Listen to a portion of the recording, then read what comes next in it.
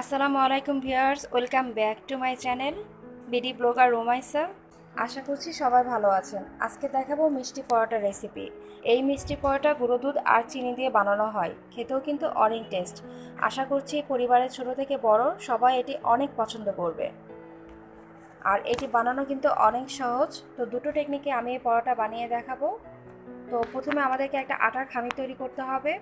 আর এর জন্য আমি এখানে এক কাপ পরিমাণ আটা নিয়েছি। আপনারা চাইলে কিন্তু ময়দা দিয়েও এই পরোটা বানিয়ে নিতে পারবেন। পরিমাণ মতো একটুখানি লবণ দিয়ে নিলাম। হাত দিয়ে একটু মিশিয়ে দিচ্ছি। এক টেবিল চামচ পরিমাণ তেল দিয়ে নিলাম। আর এই তেলটা দেওয়ার কারণে পরোটা কিন্তু অনেক মুচমুচে হবে। আটার সাথে তেলটাকে খুব ভালো মতো মিশিয়ে নিচ্ছি।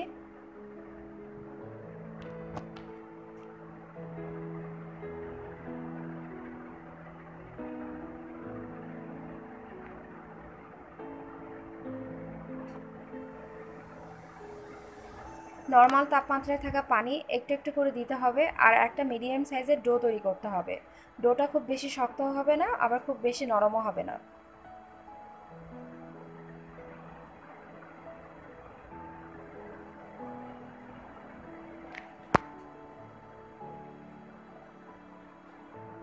আর ডোটাকে কিন্তু অবশ্যই খুব ভালো মতো মথে নিতে হবে, এতে করে পরোটা খুব সুন্দর সফট হবে।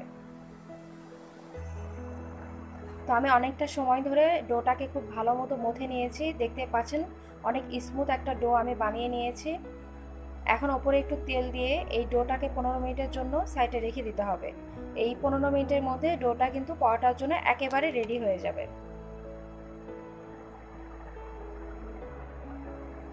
তো একটা ঢাকনা দিয়ে দিব।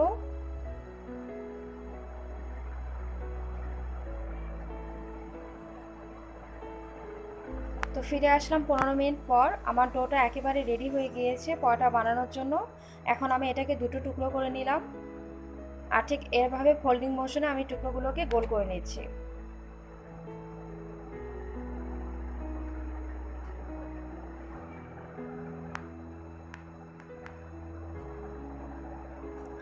বেলুন পিড়িতে সামান্য একটু তেল মাখিয়ে নিলাম। এতে করে পরোটা বেলতে খুব সহজ হবে। একটা টুকরো নিয়ে নিলাম। আমি আজকে আপনাদেরকে এই দুটো টেকনিকে পরোটা বানিয়ে দেখাবো। আপনাদের কাছে যেটা সুবিধার মনে হয়, ঠিক সেই টেকনিকে আপনারা এই পরোটা বানিয়ে নিতে পারবেন। তো প্রথমে একটা মিডিয়াম সাইজের রুটি বেলে নিলাম। আর এই রুটির ওপর আমি এখন দিয়ে নিচ্ছি গুঁড়ো দুধ। এটা একেবারে অপশনাল আপনাদের ভালো না লাগলে শুধুমাত্র চিনি দিয়েও এই পরোটা বানিয়ে নিতে পারবেন। আর এই চিনি আর গুঁড়ো দুধের পরিমাণটা ডিপেন্ড করে আপনাদের স্বাদের ওপর আপনারা কতটুকু দিতে চান। আমি এখানে টোটাল দেড় টেবিল চামচ পরিমাণ গুঁড়ো দুধ আর দেড় টেবিল চামচ পরিমাণ দিয়ে নিয়েছি চিনি। শুধুমাত্র চাইলে কিন্তু চিনি দিয়েও এই পরোটা বানিয়ে নেওয়া যায়।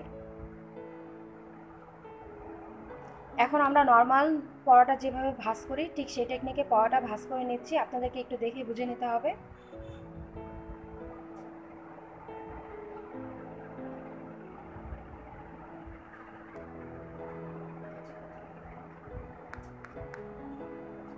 সামান্য উপরে একটু তেল দিয়ে নিলাম, এতে করে পরোটা বেলতে অনেক ইজি হবে।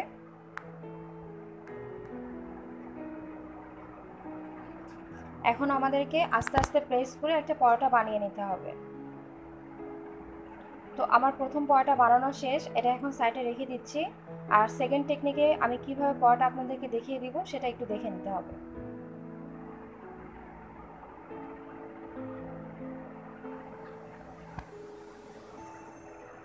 মিডিয়াম সাইজের একটু গোল করে নিলাম, আর সেটার মধ্যে এক টেবিল চামচ পরিমাণ চিনি আর এক টেবিল চামচ পরিমাণ গুঁড়ো দুধ দিয়ে নিলাম। এটার পরিমাণও ডিপেন্ড করে আপনাদের পছন্দের ওপর। এখন চতুর্দিক থেকে ফোল্ড করে আমি গোল করে নিচ্ছি। অবশ্যই কিন্তু মুখটাকে খুব ভালো মতো সিল করে দিতে হবে, তাছাড়া কিন্তু গুঁড়ো দুধ আর চিনিগুলো বের হয়ে যেতে পারে।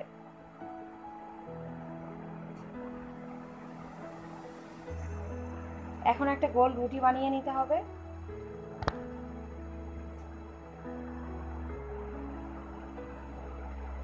আর এই পরোটাগুলো কিন্তু খুব বেশি পাতলাও হবে না, আবার খুব বেশি একটা মোটাও হবে না। মিডিয়াম সাইজের একটা পরোটা বানিয়ে নিতে হবে। আর এই পরোটা বানানোর পর খুব বেশি সময় কিন্তু ওয়েট করা যাবে না, সাথে সাথে ভেজে নিতে হবে। আমি মাত্র দুটো পরোটা বানিয়েছি, এ কারণে দুটো একসাথে বানানোর পর আমি ভেজে নিচ্ছি। আপনারা যদি পরিমাণে বেশি পরোটা বানিয়ে নেন, সেক্ষেত্রে একটা পরোটা বানাবেন আর একটা করে ভেজে নেবেন। তাছাড়া কিন্তু চিনি থেকে পানি ছেড়ে দিবে, আর পরোটাগুলো একেবারে ভালো হবে না। তো চুলা মিডিয়াম জাল দিয়ে পরোটাগুলো এখন ছেঁকে নিতে হবে। আর জালটাকে কিন্তু হাই রাখবেন না, মিডিয়ামে রেখে পরোটাগুলো ভেজে নেবেন। তো এখন পছন্দ মতো কালার করে পরোটাগুলো আমি ভেজে নিচ্ছি।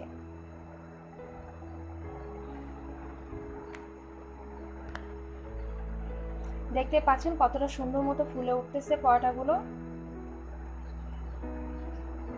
আর এই পরোটা কিন্তু আপনারা চাইলে শুধু খালিও খেতে পারেন।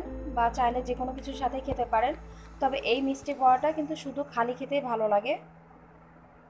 আর এটা গরম গরম অনেক টেস্ট হয় খেতে। তো একই রকমভাবে আমি সেকেন্ড যে পরোটা ছিল সেটাও ভেজে নিচ্ছি।